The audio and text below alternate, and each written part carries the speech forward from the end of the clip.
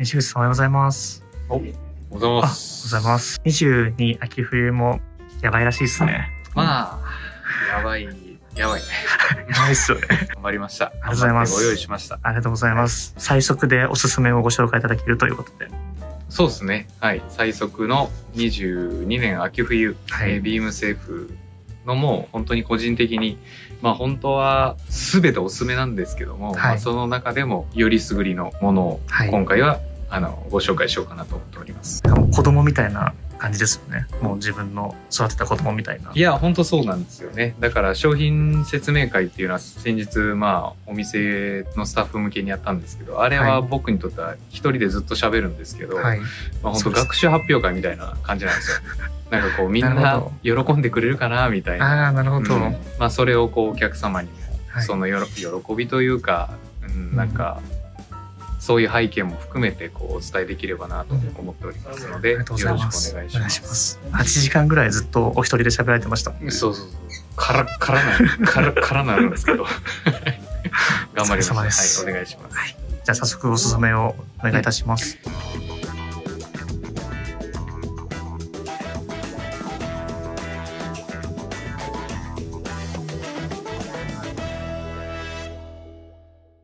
最初、折々ですね。はい。折々のジャケットなんですけれども、これは実は、えっ、と、今シーズンやった新型です。はい。今までは、あの、コートラインという、あの、ビームスが復刻させたモデルをやっていたんですけれども、はい。そちらとは違うモデルを今回やってます。特徴的なのは実は3パッチですね。6ミリのマシンステッチが入ります。で、ゴージもちょっと低いんですね。はい。で、ワイドラペルでゴージが低い。で、着丈はそんなに長くないんですが、前着丈がかなり長いモデル普通の着丈なんですが、前下がりがすごいつきます。で、2つボタン。で、割と低い位置にはい。ボタンがついてます。だから少し、とかまあ、かなりアメリカンな要素が入ったような空気感のあるジャケットなんですけど、まあ、パンツがストレートシルエットとかちょっと太いシルエットが出てきたので、はい。それに合うようなものとしてご用意してますね。この型は、えっ、と、はい日本ではビームスのみのうんエクスクルーシブモデルになりますので、はい、ぜひ、えー羽織っていただきたい一着です。はい。ウエストのシェイプもそんなにない感じなんですか？あ、いや、割と実はアメリカンな空気感あるもののはいウエストのシェイプはありますね。はい、あーなるほどだから、結構いい雰囲気です。うんまあちょっとき着てお見せしたいぐらいなんですけど、はい。まあぜひ店頭ではい。もういっぱいぶりますね。お試しいただきたいなと思ってます。で、はい実際、素材もこういうちょっと英国調みたいな、えっ、と、ツイードのものをご用意してます。他にも、ネイビー無地とか、あとヘリンボはい。ーンの、えーものなどもご用意してますので、ぜひご期待いただければと思います。はい。ありがとうございます。続いてはですね、ベルベッソですね。はい。もう北イタリアの某オフランス、はい有名メゾンブランド。今、だに手掛けている北イタリアのブランドなんですけど、はい。キャメル100%の、えー、と素材を使ったジャケットですね。いわゆる Jacket in the Box のモデルです。もうボックスシルエットで、えーストーンと落ちるようなあの軽やかなジャケットです。私も最近、まあ、この春夏に、えー、と個人購入してはい着てるんですけど、まあとにかく着心地がいいのでリラックスしたこううん雰囲気とかにぜひ合わせていただきたいこんなの着てる大人の人がいたらいいじゃないですか。モテモテですね。モテモテかどうか はあなた次第ですけど。でもいい、本当にいい大人の方に来ていただきたいと思ってオーダーしたジャケットです。はい。こういう飾りが最近はついてるんですけど、これはベネチアグラスなんですよ。ベネチア、本物のベネチアグラスをつけてるんですけどまあこれは全然外していただいて全然いいんですが、ベルベッサはあの本当にベネト州、いわゆるベネチアの近くにあの工場とうん。本当本社があるんですけど、そこで別注で作らしてるみたいですね。へー。まあまあ遊びですね。はい。で続いてはアルフォンソシリカですね。直線の以外はフルハンドメイド。完全手縫いで作っているジャケットです、ビームスの別注モデルとして継続してやっております。で今回さらに修正してましてもう少しだけ少しだけなんですが前下がりをつけました前までは割と前着丈と後ろ着丈あまり変わらないような感じだったんですけども、はい。前下がりが少しつけつけた方がまあビームスのスタッフもすごい好きなんですけども、はい。そそれをこう足したというか感じのモデルになってます。それ以外は変更ではないんですけども、はい。なぜ今回おすすめなのかというとこれは、えっと結構フェード感のある色合いに見えるんですがこれは実はカシミヤ100%へです。え。カシミヤ100%のヘリンボーンちょっとトロトロしてますね、はいどどうですか？本当ですね。これ触らないとわからないね。そうそうもう触ってもらいたいですね。はい。なんか色もグレイッシュなブラウンなのでグレーパンツとか履いても大人っぽいですし、まあ、チノパンとか普通に履い履くだけでもスーパーかっこいいなと思ってかっこいいですね。はい、カシミヤですので手抜きで、はい。えっと仕立ててます。まあ綺麗に仕上がってますね、はい。まあ、非常に綺麗です。まあ最高です。最高ですね。最高です。かっこいい。じゃあ続きましてですね、はい。こちらダルコールです。実はですねこのジャケットは、えっと21年秋冬シーズンも、えっとはい。やっていたジャケットなんですけれども、はい。えっとそれをそれが実は速乾してしまいまして。はい。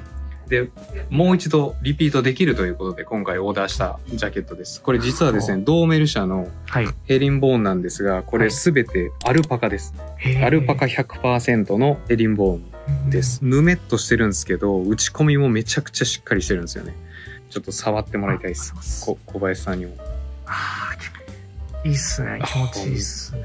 小林さんにまだわかるいや、まだそうっすね。まだまだ若いからはい。持ってないですからね、誰こうで。これもいい大人の方に来ていただきたいなと思って今回リピートしてますがあ去年よりは少しだけ載せてあそうなんですね。の今回やっております、はい予約しないと、ちょっと厳しいです、ね。まあまず、はい、予。約はい今これが動画が公開されてる時にはもうすでにはい。予約は解禁になってると思うんですけども、えっ、と、それでも間に合わないかもしれません。あそう本当にすいません。はい。すねまあでも本当におすすめです。はい。続きましては、スティレラティーノですね。まあ皆さんもご存知ですね。えっ、と、ヴィンチェンツォ・アットリーニさんが、えー手掛けるスーツです。で、色が絶妙ですね。ちょっとミディアムブラウンというかカーキのような色のウールギャバーを使用してます。なんでこういうものをやりたかったかっていうのは自分的には実は意図があってですね。はい。やっぱり洋服やって春夏は春夏生地ちょっとライトウェイトで秋冬はやっぱり防毛系いわゆる起毛感のあるこうヘビーウェイトの生地をオーダーしがちではい。シーズンで分けるでもやっぱりふと思うと合い物みたいなものってすごい少ないなと思っていて。でやっぱりそこにちょっとこうそういうものもお客様絶対求められてると思うんですね、はい。だからこれは夏以外のシーズン着ていただけるようなものとしてのご用意ですね。だから打ち込みはしっかりしてますしさすがに夏は着れませんがしなやかでうんドレープが出てすごくいいですね、まあ、とても色気のあるスーツに仕上がってます、はいあとは、えーこちらですはい。こちらもサルトリア・ダルクオーレの、えー、とスーツですねはい。まあものすごく見た感じはい。かなりシンプルなスーツなんですけど、実は、えっと、これは生地がドーメル社の160の糸をはい。取って、うんえー折った生地ですね。でこれもどちらかといえば合い物としてはい。お使いいただけますね。はい。これも、まあ、ものすごく、もう最高にいいスーツですね。ネイビースーツ、これで一生いけるんじゃないかみたいなそうですね。感じです。あ、これ欲しいですね。本当ですか欲しいって言ってる顔がでも腰が痛そうなんで 大丈夫ちょっと家族のこと考えると、どうしようっていう感じになっちゃうんですけど。で、パンツはサイドアジャスターですね。はい。はい。まあ、ここも素晴らしいですね。まあ、生地のチョイスもすごくいいので、えっ、と、毎回、あの、オーダーは楽しみにして、オーダーに行ってますね。はい。で、こちらもビームスエクスクルーシブモデルでのご用意です。はい。はい。最高のネイビースーツをぜひ。ネイビーって言ってもちょっと浅いんですよね。うん。はい。深いネイビーっていうよりは少しナスコンっぽい、えーね色合いですね。はい。続いては、えーイタリアのジェルマーノに別注したパンツなんですけれども、はい今までイタリアのパンツってやっぱどうしても裾幅17とか18センチのテーパードシルエットで細いものはい。があって、で、まあそれが基本主流だったと思います。その後にやっぱりワイドパンツみたいな流れが来て、裾幅20センチ以上みたいなやつが出てきたんですけども、はい。ちょっと待てよと。はいやっぱり間のパンツないなっていうふうにやっぱ思っていて、やっぱりワイドパンツに行けないお客さんも多数いらっしゃると思うので、そういう意味でもやっぱりちゃんとご用意するべきだろうということで、今回別注したのがこちらです。ワンプリーツで股上も普通に深いぐらいですかね。はい裾幅は19センチに指定してます。絶妙。なので、太すぎず細すぎないはい。という、えー、とパンツを今回ご用意してます。ものすごく綺麗なシルエットに仕上がりましたので、足がこうストーンとまっすぐ綺麗に落ちるようなシルエットに仕上げてますので、こちらも、えっ、と、おすすめの一本ですね。ニューモデルですね。はい。で、こちらは、はい英国のコーディングス社、ハンティング用品とか取り揃えている英国の老舗ですね。エリック・クラプトンが今オーナーをしているコーディングス社のものなんですけど、2年前ぐらいに別注をしたツープリーツのサイドアジャスターパンツのモデルがあるんですが、それの新色ですね。英国のブリスベンモスのヘビーコーデュロイで、はい。このグレーの色すごいいいなと思って、これグレーなんですね。グレーです。ネイビーにもなんか見えちゃいますね。そうそうそう、ちょっと青みがかってるね、確かにね。はいうん。まあでも実際はグレーですね。で、こうちょっとこう、光沢があって、はいものすごい上品ですね。なんか個人的にはやっぱブラックスエードとかこういう黒靴？黒靴にこう合わすと、やっぱこう映えますよね。ああ、いいですね。ありうん、すごい大人っぽい、すごいおすすめなパンツですね。はいこちらがとうございます。あとは、まあ皆様大好き、大人気の、はいえっと、ベルナール・ザンスですね。はいこちらのバック J という、えっと、定番モデルで、今回どうしてもしたかった、えっと、パンツでしたので、こちらをご用意してます。コート生地ぐらいヘビーなヘリンボーンですね。でかなりガシガシの生地なんですけど、まあでも、チェックパンツみたいな傾向とか、柄物のパンツみたいな傾向が実はあって、ウールパンツも、まあ無地はもちろん定番としてあるんですけど、まあその中でもこう、これぐらい大きなヘリンボーンってなかなかオーダーもできないので、まあ、今回それをこちらをご用意してます。まあ、これも多分ちょっと爆発的人気になりそうな感じが個人的にもしてますね。もう何でも合わせられるので、カジュアルいけて、ネイビージャケットいけるみたいな感じなので。今シーズン、グリーンボーン多いですね。そうなんですよ。実は、その後日、またその紹介するようなところにも出てくるんですけど、やっぱりヘ,、はいヘリテージとか、はい。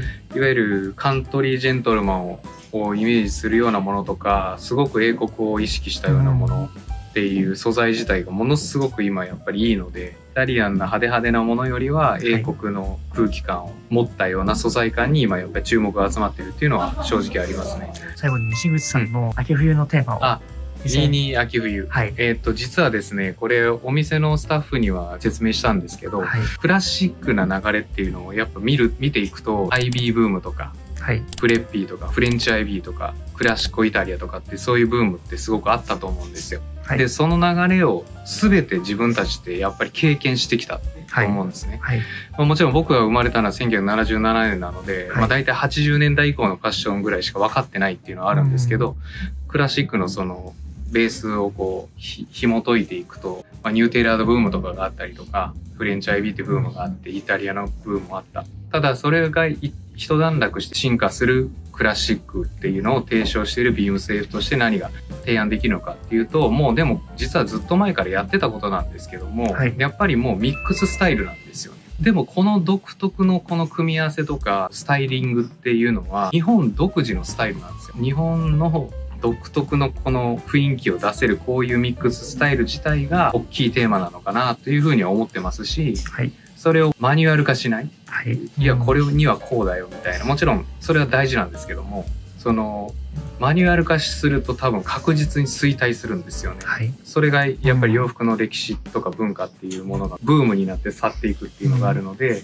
そうではなくて何でもありじゃないんですけども、はい。えっと装っていただくっていうことがそれが日本のトラッドだと思うんですよ。うん。それを今回のまあ大きなテーマにしてるという感じです。話が長い。いやいや、い話長いや全然、大丈夫。あの、編集、編集できます。長い。編集できますので。じゃあ時間にでも何でもありはダメなんですけど、はい。そこのせめぎ合いなんですけどね。なるほど。はい。